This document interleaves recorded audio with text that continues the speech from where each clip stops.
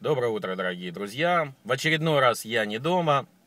В очередной раз я сейчас уже путешествую по городу вместе с моей женой и с детьми. И сегодня мне хотелось бы опять же поговорить с вами с книги притчей, только уже 15 главы. И первый стих говорит очень важные слова. Он говорит о том, что кроткий ответ, он отвращает гнев, а оскорбительное слово возбуждает ярость. Вы знаете, на самом деле достаточно сильные глубокие слова, которые говорит нам автор – Почему? Потому что очень часто конфликты возникают из-за того, что мы не умеем вести себя кротко, не умеем кротко отвечать. Очень часто я наблюдал, да и за собственной э, жизнью, когда кто-то, ну, ко мне начинает вести себя, ну, со мной начинает себя вести вызывающе, начинает со мной ругаться, мне почему-то начинает хотеться ругаться в ответ.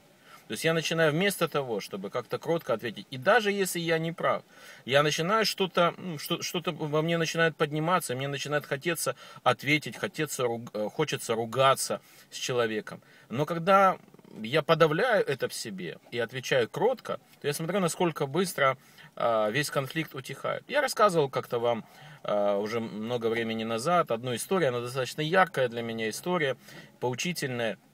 Я был в Киеве на автомобиле и э, останавливался в одной квартире, и весь двор был заставлен машинами, и многие машины, они стояли прямо на, э, как это сказать, на месте зеленых насаждений, прямо на земле, и я точно так же поставил машину, потому что негде было ее поставить. И когда утром я выходил к своему автомобилю, то женщина проходила мимо и начала на меня кричать. Она кричала, она меня ну, только матом, наверное, не посылала.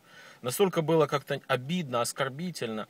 Мне хотелось ей ответить. Я реально был готов к тому, чтобы начать оправдываться, говорить ей о том, что место негде стоять и так далее. Но что-то произошло внутри меня. Я подавил это в себе и сказал, женщина, простите, пожалуйста, ну, как бы, я сейчас переставлю машину. Я найду место и переставлю машину. Вы знаете, была интересная реакция этой женщины.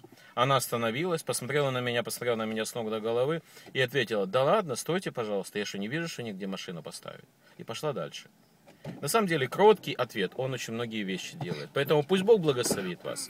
Отвечайте кротко, ведите себя кротко. И ваша жизнь, она будет другой.